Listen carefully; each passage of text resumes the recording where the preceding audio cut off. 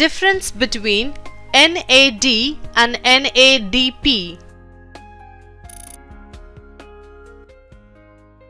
Definition NAD NAD nicotinamide adenine dinucleotide refers to a coenzyme involved in the oxidation reduction reactions of cellular respiration inside the cell. NADP definition NADP nicotinamide adenine dinucleotide phosphate refers to a coenzyme involved in the oxidation reduction reactions inside the cell.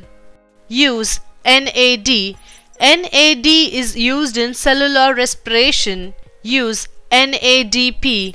NADP is used in photosynthesis, used in the glycolysis, Krebs cycle, fatty acid synthesis and sterol synthesis.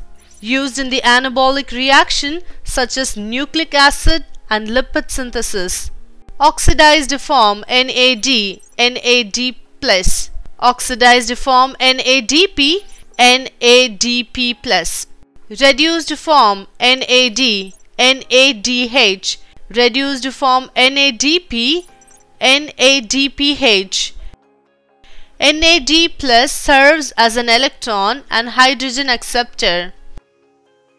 NADP serves as an electron and hydrogen donor.